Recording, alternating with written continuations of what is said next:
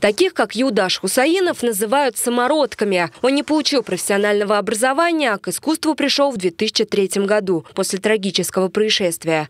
В больнице взял в руки карандаш и бумагу. Рисование помогло вернуться к жизни. Вдохновляет и на другие свершения. Юдаш – чемпион России в составе сборной республики по теннису. Рисование – это, во-первых, терпение. Да? В спорте это то же самое – терпение.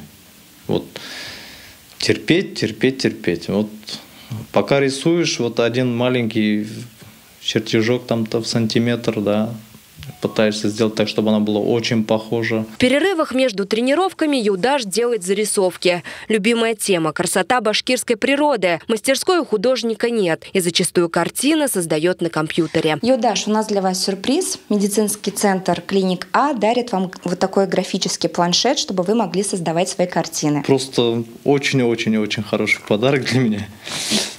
Хотелось бы поблагодарить, сказать большое, огромное спасибо. Начну рисовать портреты уже, может быть. Это будет просто здорово.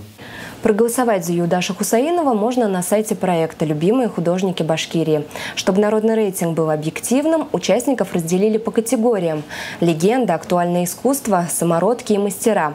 В этой номинации и картины Лианы Макырчан, мелодии Дудука, Сиван и, конечно, «Красный гранат». Отправляемся в мастерскую художника.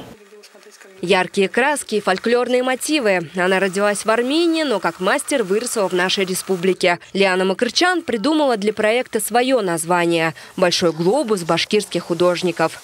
Я думаю, если я даже вперед не пройду, это не так страшно, потому что главное быть в, в этой в, как сказать, в этой семье со всеми вместе участвовать. В мастерской Лианы встречаем автора идеи и руководителя проекта Наиля Махмутова. Он не художник и не искусствовед, но у него креативное хобби. За 11 лет он выпустил 13 книг серии «Земляки». Итогом конкурса станет книга-альбом Наиля Махмутова о лучших художниках Башкирии. А помогут в этом жители республики, которые сами выберут любимых мастеров. За два месяца проект уже вышел за пределы страны. У нас уже около 250 тысяч просмотров и очень много э, просмотров именно за рубежа. Из Канады, Мексики, Америки, из Австралии, из Новой Зеландии. То есть весь мир практически представлен. Люди заходят, интересуются и голосуют за те или иные картины. Вот есть такой знаменитый художник Виктор Кириченко. Э, за его работу проголосовали аж из Новой Зеландии.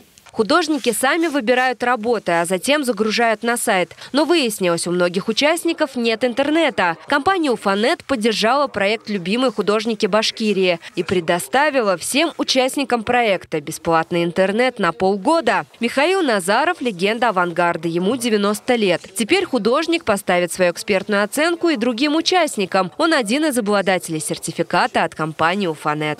Ну хорошо, что этим делом занимаетесь, что все-таки интересуетесь этим кто-то интересуется. Это хорошо, что такое внимание есть. Компания Уфанет всегда поддерживает культуру.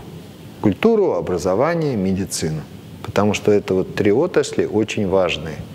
Они не такие видные, но вот этот проект, он, конечно, важный. Я помню, был в Вене и посетил выставку художников русского авангарда 20-х годов 20 века. Вот это грустная, конечно, выставка для меня была. То есть вообще картины были великолепные, а то, что русский авангард э, в Вене, а не, допустим, не в Москве, не в Уфе, к примеру, это грустная вещь. Поэтому, чтобы не было грустно потом лет через сто, надо поддерживать э, башкирских художников, которые вот сейчас э, живут и работают в Башкирии. Заявки художников принимаются до 1 декабря. А отдать голос в онлайн-галерее можно сразу за несколько картин. В финале конкурса работы будет оценивать профессиональное жюри. Те художники, картины которых наберут больше всего голосов, получат призы. И, конечно, народное признание. Алина Гребешкова, Анастасия Никишина и Роман Гуманов, городской телеканал ЮТВ.